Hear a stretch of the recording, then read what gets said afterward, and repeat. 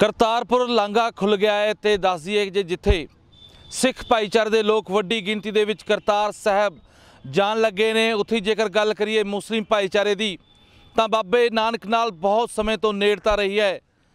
ਗੁਰੂ ਨਾਨਕ ਦੇਵ ਜੀ ਦੇ ਨਾਲ ਪੁਰਾਣੀ ਪਰੰਪਰਾ, ਪੁਰਾਣੇ ਰਿਸ਼ਤੇ ਤੇ ਪੁਰਾਣੇ ਸਮੇਂ ਤੋਂ ਚੱਲਦੇ ਆ ਰਹੀ ਆਪਸੀ ਭਾਈਚਾਰਕ ਸਾਂਝ ਮੁਸਲਿਮ ਭਾਈਚਾਰੇ ਦੀ।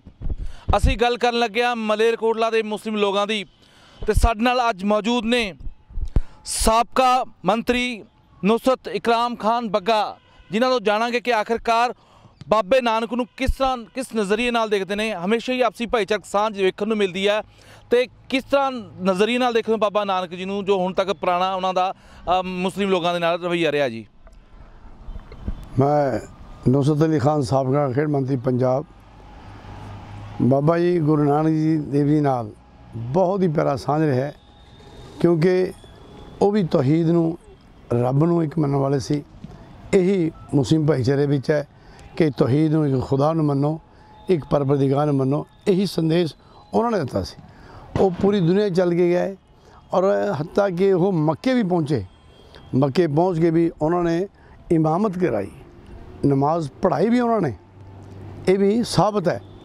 ਔਰ ਇਹਨਾਂ ਨੇ ਪੂਰੇ ਮੁਲਕ ਨੂੰ, ਪੂਰੀ ਦੁਨੀਆ ਨੂੰ ਹੀ ਪੈਗਾਮ ਦਿੱਤਾ ਕਿ ਇੱਕ ਖੁਦਾ ਨੂੰ ਮੰਨੋ, ਇੱਕ ਪਰਮਾਤਮਾ ਨੂੰ ਮੰਨੋ। ਇਹ ਸੰਦੇਸ਼ ਬਾਬਾ ਜੀ, ਗੁਰੂ ਨਾਨਕ ਜੀ, ਦੇਵ ਜੀ ਦਾ ਸੀ।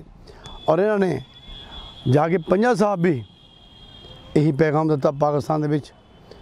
ਇਸੇ ਤਰ੍ਹਾਂ ਪੂਰੇ ਇਲਾਕੇ ਨੂੰ ਕਰਤਾਰਪੁਰ ਸਾਹਿਬ ਦੇ ਲਾਂਘੇ ਦੀ ਬੇਇੰਤਹਾ ਖੁਸ਼ੀ ਹੈ ਜਿਸ ਤਰ੍ਹਾਂ ਸਿੱਖ ਭਾਈਚਾਰੇ ਨੂੰ ਖੁਸ਼ੀ ਹੈ। ਉਹ ਤੋਂ ਵੱਧ ਕੇ ਮੁਸਲਿਮ ਭਾਈਚਾਰੇ ਨੂੰ ਬੇਇੰਤਹਾ ਖੁਸ਼ੀ ਹੈ। ਇੱਥੋਂ ਮਲੇਕੋਲੇ ਦੇ ਵਿੱਚ ਵੀ ਬਹੁਤ ਲੋਕ ਦਰਸ਼ਨ ਜਾਣਗੇ। ਔਰ ਜਿੰਨਾ ਵੀ ਜਦੋਂ ਵੀ ਜਥਾ ਆਇਆ ਜਦੋਂ ਵੀ ਪਾਲਕੀ ਆਈ ਹੈ ਕੋਈ ਵੀ, ਤਾਂ ਮੁਸਲਿਮ ਭਾਈਚਾਰੇ ਨੇ ਉਹਦਾ ਸਵਾਗਤ ਕੀਤਾ ਹੈ। ਪਹੁੰਚ ਕੇ ਹਮ ਹਮ ਆ ਕੇ ਇਹ ਉਹਨਾਂ ਦਾ ਸਵਾਗਤ ਕੀਤਾ, ਕਿਉਂਕਿ ਗੁਰੂ ਨਾਨਕ ਦੇਵ ਜੀ ਕਿਸੇ ਵੀ, ਉਹਨਾਂ ਨੇ ਕਿਸੇ ਵੀ ਮਜ਼ਹਬ ਨੂੰ ਕਦੇ ਵੀ ਨਿੰਦਿਆ ਨਹੀਂ। ਸਿੱਖ ਕੌਮ ਦੇ ਲੋਕ ਜਿਸ ਤਰ੍ਹਾਂ ਮੰਨ ਰਹੇ ਹਨ ਉਸੇ ਤਰ੍ਹਾਂ ਮੁਸਲਿਮ ਭਾਈਚਾਰਾ ਵੀ ਉਹਨਾਂ ਦੀ ਬਹੁਤ ਇੱਜ਼ਤ ਇਹਤਰਾਮ ਕਰਦਾ ਹੈ। ਇਹ ਬਹੁਤ ਬੜਾ ਇੱਕ ਦੋਨਾਂ ਸਰਕਾਰਾਂ ਨੇ ਬਹੁਤ ਬੜਾ ਇੱਕ ਕੌਮ ਨੂੰ ਤੋਹਫਾ ਦਿੱਤਾ ਹੈ, ਤੋਹਫਾ। ਕਰਤਾਰਪੁਰ ਸਾਹਿਬ ਵਾਲਾ ਤੋਹਫਾ ਦਿੱਤਾ ਹੈ।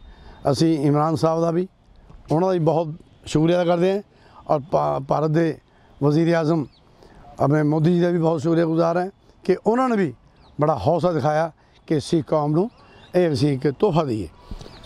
ਮਲੇਰਕੋਟਲਾ ਦੀ ਗੱਲ ਕਰਨ ਲੱਗਿਆ ਮਲੇਰਕੋਟਲਾ ਦਾ ਇਤਿਹਾਸ ਗਵਾਹ ਹੈ ਕਿ ਇੱਥੋਂ ਦੇ ਨਵਾਬ ਰਹੇ ਸ਼ੇਰ ਮੁਹੰਮਦ ਖਾਨ ਵੱਲੋਂ।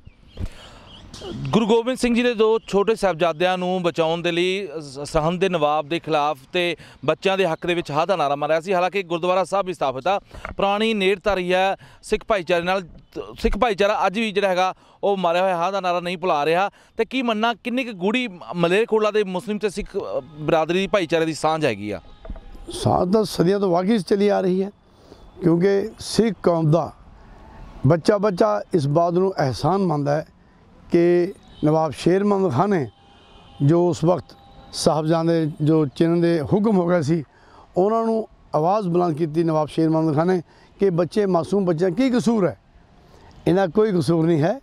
ਇਹਨਾਂ ਨੂੰ ਮਤ ਜਿਨਾ ਜਾਵੇ, ਕਿਉਂਕਿ ਇਸਲਾਮ ਦੇ ਵਿੱਚ ਬੱਚਿਆਂ ਪਰ ਜਾਂ ਕਿਸੇ ਪਰ ਜ਼ੁਲਮ ਹੁੰਦਾ ਹੋਵੇ ਉਹ ਬਿਲਕੁਲ ਇਸਲਾਮ ਬਰਦਾਸ਼ਤ ਨਹੀਂ ਕਰਦਾ ਨਾ ਇਸ ਬਾਤ ਦੀ ਇਜਾਜ਼ਤ ਦਿੰਦਾ ਔਰ ਜਿੱਥੇ ਭਈ ਅ, ਕੋਲੇ ਵਾਸਤੇ ਅਸੀਂ ਵੀ ਪਹਿਲਾਂ ਵੀ ਮੈਂ ਆਪਣੀ ਸਰਕਾਰ ਜਿਸ time Sardar Prakash Singh chief minister ਦੇ ਮੈਨੇ ਉਸ ਟਾਈਮ ਵੀ ਅਨੰਦਪੁਰ ਸਾਹਿਬ ਦੇ ਵਿੱਚ ਸਾਡੀ ਮੀਟਿੰਗ ਹੋਈ ਸੀ ਉੱਥੇ ਮੈਨੇ ਮੰਗ ਕੀਤੀ ਸਰਦਾਰ ਪ੍ਰਕਾਸ਼ ਸਿੰਘ ਬਾਦਲ ਉਹਨਾਂ ਦੇ ਅੱਗੇ ਕਿ ਨ- ਮ- ਕੋਲੇ ਨੂੰ ਜ਼ਿਲ੍ਹਾ ਬਣਾਇਆ ਜਾਵੇ। ਇਹ ਪੁਰਾਣੀ ਇੱਕ ਸਾਡੀ ਮੰਗ ਚਲੀ ਆ ਰਹੀ ਹੈ। ਹੁਣ ਵੀ ਕਿਹਾ ਸਰਕਾਰ ਨੇ ਅਸੀਂ ਬਣਾਵਾਂਗੇ। ਕਹਿੰਦੇ 90 ਦਿਨ ਜਿਵੇਂ ਉਹ ਅਲੱਗ ਬਾਤ ਹੈ। ਲੇਕਿਨ ਸਾਡੀ ਇਹ- ਸਰਕਾਰ ਤੋਂ ਵੀ, ਸੈਂਟਰ ਸਰਕਾਰ ਤੋਂ ਖਾਸ ਤੌਰ ਪਰ ਡਿਮਾਂਡ ਹੈ ਕਿ ਕਰਤਾਰਪੁਰ ਸਾਹਿਬ ਲਾਂਘੇ ਦੀ ਉਹਦੀ ਖੁਸ਼ੀ ਵਿੱਚ ਨਵਾਬ ਸ਼ੇਰ ਮੁਹੰਮਦ ਖਾਨ ਦੇ ਹਾਂ ਦਾ ਨਾਮ ਰਾਜ ਮਰਿਆ। ਮਲੇਕੋਟਲੇ ਨੂੰ ਸਮਾਰਟ ਸਿਟੀ ਇੱਕ ਨੰਬਰ ਪਰ ਮਲੇਕੋਟਲੇ ਪਰ ਖਰਚ ਕੀਤਾ ਜਾਵੇ, ਬਣਾਇਆ ਜਾਵੇ। ਇਹ ਸਾਡੀ ਡਿਮਾਂਡ ਹੈ। ਇਹ ਪੰਜਾਬ ਸਰਕਾਰ ਨੂੰ ਕਹਿੰਦੇ ਇਹ ਲਿਖ ਕੇ ਭੇਜਣ।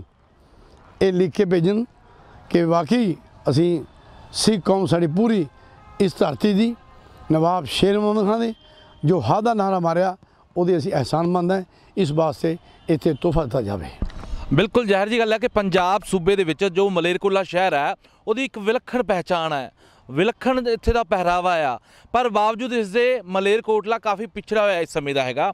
ਤੇ ਕੀ ਲੱਗਦਾ ਤੁਹਾਨੂੰ ਕਿ ਇੱਕ ਵੱਖਰ, ਵੱਖ, ਵਿਲੱਖਣ ਪਹਿਚਾਣ ਤੇ ਵਿਲੱਖਣ ਜਿਹੜੀ ਪਹਿਰਾਵਾ, ਇੱਕ ਸਮੁਦਾਇ ਦਾ, ਇੱਕ ਵਧੀਆ ਦ- ਭਾਈਚਾਰੇ ਦੀ ਸਾਂਝ ਮਿਸਾਲ ਵੇਖਣ ਨੂੰ ਮਿਲੀ ਆ? ਕਿ ਲੱਗਦਾ ਕਿ ਹੋਰ ਵੀ ਜਿਹੜੀਆਂ ਕਾਫੀ ਸੇਵਾਵਾਂ ਇਹ ਸ਼ਹਿਰ ਨੂੰ ਮਿਲਣੀਆਂ ਚਾਹੀਦੀਆਂ, ਕੋਈ ਵੱਡੀ ਸੰਸਥਾ ਜਿਵੇਂ ਜ਼ਿਲ੍ਹੇ ਦੀ ਮੰਗ ਕੀਤੀ ਆ, ਸੰਸਥਾ ਵੀ ਆਣੀ ਚਾਹੀਦੀ ਆ ਕਿਉਂਕਿ ਨਵਾਬ ਸ਼ੇਰ ਮੁਹੰਮਦ ਖਾਨ ਦੇ ਨਾਂ ਤੇ। ਲੱਗਦਾ ਕਿ ਹੋਰ ਵੀ ਸੇ- ਇੱਥੇ ਸੁਵਿਧਾਵਾਂ ਸ਼ਹਿਰ ਨੂੰ ਮਿਲਣੀਆਂ ਚਾਹੀਦੀਆਂ ਨੇ ਜੀ? ਨਹੀਂ ਮੈਂ ਮੈਂ ਪਹਿਲੇ ਹੀ ਅਰਜ਼ ਕਰ ਚੁੱਕਿਆ ਕਿ ਸਮਾਰਟ ਸਿਟੀ ਜੋ ਇਹਨਾਂ ਨੇ ਕਹੀ ਹੈ ਉਹਦੇ ਵਿੱਚ ਤਕਰੀਬਨ 550 ਕਰੋੜ ਰੁਪਏ ਖਰਚ ਹੋਣਾ ਉਹ ਮਲੇਰਕੋਟ ਨੇ ਬਣਾਇਆ ਜਾਵੇ? ਉਹਦੇ 'ਚ ਹਰ ਸ- ਸੰਸਥਾ ਹੋਗੀ ਯੂਨੀਵਰਸਿਟੀ ਹੋਗੀ ਬੜੇ ਬੜੇ ਆਪਣੇ ਇੰਡਸਟਰੀ ਹੋਗੀ ਔਰ ਉਸ ਤੋਂ ਬਾਅਦ ਬੜੇ ਬੜੇ ਆਪਣਾ ਹਸਪੀਟਲ ਬਣੂ ਟੌਪ ਦਾ। ਅਸੀਂ ਵੀ ਚਾਹੁੰਦੇ ਹਾਂ ਕਿ ਜਿਸ ਤਰ੍ਹਾਂ ਕਿ ਪੀਜੀਆਈ ਜੈਸਾ ਮਿਨੀ ਪੀਜੀਆਈ ਬਣਾਇਆ ਜਾਵੇ। ਪੂਰੇ ਇਲਾਕੇ ਨੂੰ ਅ, ਸਹੂਲਤ ਮਿਲੇ ਪੂਰੇ ਇਰਦ ਇਲਾਕੇ ਨੂੰ ਸਹੂਲਤ ਮਿਲੇ। ਸਾਡੀ ਮੰਗ ਹੈ ਕਿ ਇਹਨੂੰ ਪੰਜਾਬ ਸਰਕਾਰ ਸਿਫਾਰਿਸ਼ ਕਰੇ ਔਰ ਸੈਂਟਰ ਤੋਂ ਪਹਿਲੇ ਨੰਬਰ ਪਰ ਮਲੇਰਕੋਟਲੇ ਨੂੰ ਸਮਾਰਟ ਸਿਟੀ ਬਣਾਇਆ ਜਾਵੇ। ਆਖਰੀ ਸਵਾਲ ਤੁਹਾਨੂੰ ਪੁੱਛਦੇ ਹਾਂ ਮੰਤਰੀ ਜੀ ਕਿ ਕੀ ਲੱਗਦਾ ਕਿ ਜੋ ਕਰਤਾਰਪੁਰ ਲਾਂਘਾ ਖੁੱਲਿਆ ਹੈ, ਸਿੱਖ ਭਾਈਚਾਰੇ ਨੂੰ ਖੁਸ਼ੀ ਹੈ, ਮੁਸਲਿਮ ਭਾਈਚਾਰੇ ਨਾਲ ਵੀ ਅਸੀਂ ਗੱਲ ਕਰ ਚੁੱਕੇ ਹਾਂ, ਉਹਨਾਂ ਵੀ ਬੇहद ਖੁਸ਼ੀ ਜਤਾਈ ਹੈ ਇਸ ਚੀਜ਼ ਨੂੰ ਲੈ ਕੇ। ਤੁਸੀਂ ਕੀ ਮੰਨਣਾ ਕਿ ਜੋ ਸਰਕਾਰ ਆਪਣਾ ਫਰਜ਼ ਹੁਣ ਤੱਕ ਨਿਭਾ ਰਹੀ ਹੈ, ਕਾਂਗਰਸ ਸਰਕਾਰ ਨਿਭਾ ਰਹੀ ਹੈ ਕਿਉਂਕਿ ਕੇਜਰੀਵਾਲ ਨੇ ਵੀ ਕਿਹਾ ਕਿ 20 ਡਾਲਰ ਦੀ ਫੀਸ ਉਹ ਦੇਣ ਨੂੰ ਤਿਆਰ ਨੇ, ਪਰ ਕੈਪਟਨ ਨੇ ਫਿਰ ਬਾਰ-ਬਾਰ ਕਿਹਾ ਕਿ ਇਮਰਾਨ ਨੇ ਫੀਸ ਹਟਾਉਣੀ ਚਾਹੀਦੀ ਆ। ਉਸ ਫੀਸ ਨੂੰ ਮੁਸਲਿਮ ਭਾਈਚਾਰਾ ਕਿਵੇਂ ਦੇਖਦਾ, ਜੋ 20 ਡਾਲਰ ਦੀ ਲਗਾਈ ਗਈ ਹੈ? ਕਿ ਜਾਇਜ਼ ਆ ਜਾਂ ਵਾਜਿਬ ਆ ਜਾਂ ਨਹੀਂ ਨਹੀਂ, ਇਹ ਸਰਕਾਰਾਂ ਦੇ ਬੜੇ ਫੈਸਲੇ ਹੁੰਦੇ ਆ। ਉਹਨਾਂ ਦੀ ਆਪਣੀ ਕੈਬਨਿਟ ਫੈਸਲਾ ਲੈਣਾ ਅਸੀਂ ਤਾਂ ਖੁਦ ਚਾਹੁੰਦੇ ਹਾਂ ਕਿ ਮੁਫਤ ਜਾਣ, ਜੋ ਸ਼ਰਧਾਲੂ ਜਾਣ ਉੱਥੇ, ਫ੍ਰੀ ਜਾਣ। ਸਰਕਾਰਾਂ ਕੋ ਕੀ ਨਹੀਂ ਹੁੰਦਾ, ਹਰ ਚੀਜ਼ ਦੀ ਸਰਕਾਰ ਕੋ ਸਰਕਾਰ ਕਰ ਸਕਦੀ ਹੈ। ਅਸੀਂ ਵੀ ਗੁਜ਼ਾਰਿਸ਼ ਕਰਾਂਗੇ, ਅਸੀਂ ਵੀ ਇਮਰਾਨ ਖਾਨ ਨੂੰ ਵਜ਼ੀਰ ਆਜ਼ਮ ਕਹਿੰਦੇ ਹਾਂ ਕਿ ਸਿੱਖ ਭਾਈਚਾਰੇ ਨੂੰ ਮੁਫਤ ਭੇਜਿਆ ਜਾਵੇ। ਮੁਫਤ ਦਰਸ਼ਨ ਕਰਾਏ ਜਾਣ ਸਵੇਰ ਜਾ ਕੇ ਸ਼ਾਮ ਨੂੰ ਵਾਪਸ ਆਉਣਾ ਜਾਂ ਵੀਜ਼ਾ ਜੋ ਸਿਸਟਮ ਬਣਾਉਣਗੇ। ਲੇਕਿਨ ਫੀਸ ਦੀ ਅਸੀਂ ਵੀ ਮੰਗ ਕਰਾਂਗੇ ਇਮਰਾਨ ਸਾਹਿਬ ਨੂੰ ਕਿ ਇਹ ਮਾਫ ਕੀਤੀ ਜਾਵੇ। ਇੱਕ ਹੋਰ ਸਵਾਲ ਹੈਗਾ ਕਿ ਦੇਖੋ ਜਿਸ ਤਰ੍ਹਾਂ ਕਿ ਹੁਣ ਆਵਾਜ਼ ਉੱਠ ਰਹੀ ਹੈ ਕਿ ਇਮਰਾਨ ਖਾਨ ਨੂੰ ਜੋ ਉੱਥੇ ਦੇ ਪ੍ਰਧਾਨ ਮੰਤਰੀ ਨੇ ਉਹਨਾਂ ਨੂੰ ਜਿਹੜਾ ਹੈਗਾ ਸਿੱਖ ਭਾਈਚਾਰਾ ਸਨਮਾਨਿਤ ਕਰੇ, ਹਨਾ? ਕਿ ਮੁਸਲਿਮ ਭਾਈਚਾਰਾ ਵੀ ਚਾਹੁੰਦਾ ਕਿ ਉਹ ਵੀ ਇਮਰਾਨ ਖਾਨ ਨੂੰ ਇਸ ਕੀਤੇ ਉਪਰਾਲੇ ਨੂੰ ਲੈ ਕੇ ਜਿਹੜਾ ਹੈਗਾ ਕਿਤੇ ਨਾ ਕਿਤੇ ਸਨਮਾਨਿਤ ਕਰੇ। ਬਿਲਕੁਲ ਚਾਹੀਦਾ ਹੈ। ਇੰਨੀ ਬੜੀ ਖੁਸ਼ੀ ਮਿਲੇ ਇੱਕ ਕੌਮ ਨੂੰ ਔਰ ਕੌਮ ਦੇ ਦੂਸਰੀ ਕੌਮਾਂ ਵੀ ਉਹਦੀ ਖੁਸ਼ੀ ਮਹਿਸੂਸ ਕਰਨ।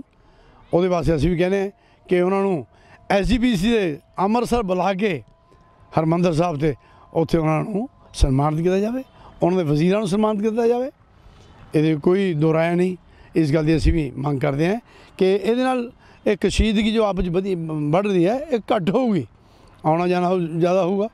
ਇਸ ਕਰਕੇ ਜੋ ਵੀਜ਼ੇ 'ਚ ਮੁਸ਼ਕਲਾਤ ਹੈ, ਹਿੰਦੁਸਤਾਨ 'ਚ ਜਾਂ ਪਾਕਿਸਤਾਨ 'ਚ, ਇਹ ਵੀ ਸਾਡੀ ਮੰਗ ਹੈ ਕਿ ਵੀਜ਼ੇ ਦੀਆਂ ਮੁਸ਼ਕਲਾਤਾਂ ਨੂੰ ਹੱਲ ਕੀਤਾ ਜਾਵੇ, ਆਸਾਨ ਤਰੀਕੇ ਦੇ ਨਾਲ ਮੁਸਲਿਮ ਭਾਈਚਾਰਾ ਵੀ ਜਾਵੇ, ਸਿੱਖ ਭਾਈਚਾਰਾ ਵੀ ਜਾਵੇ ਪਾਕਿਸਤਾਨ 'ਚ।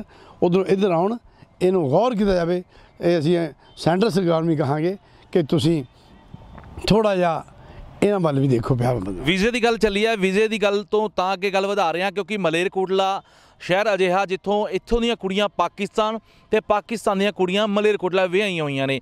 ਕੀ ਲੱਗਦਾ ਕਿ ਵੀਜ਼ਾ ਪ੍ਰਣਾਲੀ ਕਾਫੀ ਔਖੀ ਹੈ ਜੇਕਰ ਆਸਾਨ ਹੁੰਦੀ ਹੈ ਤਾਂ ਪਰਿਵਾਰਾਂ ਦਾ ਮਿਲਣ, ਖਾਸ ਕਰਕੇ ਤਿਉਹਾਰਾਂ ਤੇ, ਈਦ, ਬਕਰੀਦ ਵਰਗੇ ਤਿਉਹਾਰਾਂ ਤੇ ਮਿਲਣਾ ਆਸਾਨ ਹੋ ਜਾਏਗਾ ਇਹਦੇ ਬਾਰੇ ਕੀ ਕਹਿਣਾ ਤੁਹਾਡਾ ਜੀ?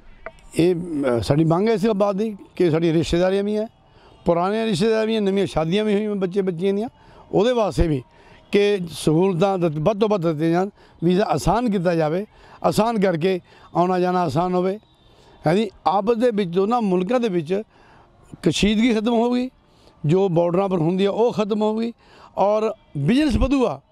ਬਿਜ਼ਨਸ ਦੇ ਵਿੱਚ ਹਰ ਬਿਜ਼ਨਸ ਬਿਜ਼ਨਸ ਕਰ ਸਕਦਾ ਹਿੰਦੂ ਵੀ ਮੁਸਲਮਾਨ ਵੀ ਸਿੱਖ ਵੀ ਈਸਾਈ ਦੇ ਵੀ ਸਾਰੇ ਬਿਜ਼ਨਸ ਕਰ ਸਕਦੇ ਇਹ ਬਹੁਤ ਬੜੀ ਖੁਸ਼ੀ ਹੋਊਗੀ ਕਿ ਵੀਜ਼ੇ ਦੀ ਪ੍ਰਣਾਲੀ ਜੋ ਵੀਜ਼ਾ ਪ੍ਰਣਾਲੀ ਹੈ ਉਹ ਆਸਾਨ ਕੀਤੀ ਜਾਵੇ ਔਰ ਇਹਦੇ ਨਾਲ ਹੀ ਮੈਂ ਦੋਨਾਂ ਮੁਲਕਾਂ ਨੂੰ ਇਸ ਬਾਤ ਦੀ ਖਾਸ ਤੌਰ ਪਰ ਲਾਂਘੇ ਦੀ ਬਹੁਤ ਬਹੁਤ ਮੁਬਾਰਕ ਹੈ ਮੁਸਲਿਮ ਭਾਈਚਾਰੇ ਨੂੰ ਬਹੁਤ ਬਹੁਤ ਮੁਬਾਰਕ ਬਿਲਕੁਲ ਜ਼ਾਹਿਰ ਜੀ ਗੱਲ ਆ ਸਾਡੇ ਨਾਲ ਸੀ ਸਾਬਕਾ ਖੇਡ ਮੰਤਰੀ ਨੁਸਰਤ ਇਕਰਾਮ ਖਾਨ ਬੱਗਾ ਜੀ ਜੋ ਦੱਸ ਰਹੇ ਸਨ ਕਿ ਜੋ ਦੋਹਾਂ ਮੁਲਕਾਂ ਦੇ ਮੁਖੀਆਂ ਵੱਲੋਂ, ਪ੍ਰਧਾਨ ਮੰਤਰੀਆਂ ਵੱਲੋਂ ਇਹ ਕਦਮ ਚੁੱਕੇ ਗਏ ਨੇ, ਲਾਂਘੇ ਦੇ ਇੱਕ ਸ਼ਲਾਘਾਯੋਗ ਆ ਤੇ ਮੁਸਲਿਮ ਭਾਈਚਾਰਾ ਵੀ ਇਸ ਦੀ ਜਿਹੜੀ ਹੈ ਸ਼ਲਾਘਾ ਕਰਦਾ ਹੈ ਤੇ ਧੰਨਵਾਦ ਕਰਦਾ ਹੈ।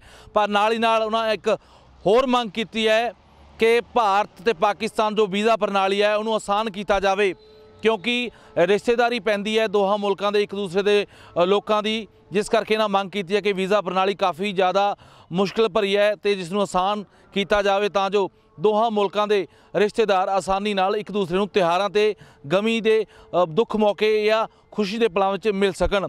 ਦੂਸਰੀ ਗੱਲ, ਇਹਨਾਂ ਇਹ ਵੀ ਕਿਹਾ ਕਿ ਇਮਰਾਨ ਖਾਨ ਨੂੰ, ਇਮਰਾਨ ਖਾਨ ਨੂੰ ਬਿਲਕੁਲ ਉਹਨਾਂ ਦਾ ਜਿਹੜਾ ਹੈਗਾ ਧੰਨਵਾਦ ਕਰਨਾ ਚਾਹੀਦਾ। ਉਹਨਾਂ ਨੂੰ ਸਨਮਾਨਿਤ ਕਰਨਾ ਚਾਹੀਦਾ ਐਸਜੀਪੀਸੀ ਵੱਲੋਂ ਵੀ ਸਨਮਾਨਿਤ ਕਰਨਾ ਚਾਹੀਦਾ ਹੁਣ ਵੇਖਣਾ ਹੈਗਾ, ਆਉਣ ਵਾਲੇ ਸਮੇਂ ਦੇ ਵਿੱਚ ਇਹਨਾਂ ਮੰਗਾਂ ਦੇ ਵਿੱਚ, ਇਹਨਾਂ ਗੱਲਾਂ ਦੇ ਵਿੱਚ ਕਿੰਨੇ ਕੁ ਅੱਗੇ ਜਾ ਕੇ ਸਰਕਾਰਾਂ ਹਾਮੀ ਭਰਦੀਆਂ ਨੇ, ਵੀਜ਼ਾ ਪ੍ਰਣਾਲੀ ਆਸਾਨ ਕਰਦੀਆਂ ਨੇ ਜਾਂ ਹਾਲੇ ਹੋਰ ਇੰਤਜ਼ਾਰ ਕਰਨਾ ਪਏਗਾ ਇਹ ਆਉਣ ਵਾਲਾ ਸਮਾਂ ਦੱਸੇਗਾ। ਮਲੇਰਕੋਟਲਾ ਤੋਂ ਸੁੱਖਾ ਖੇੜੀਵਾਲਾ।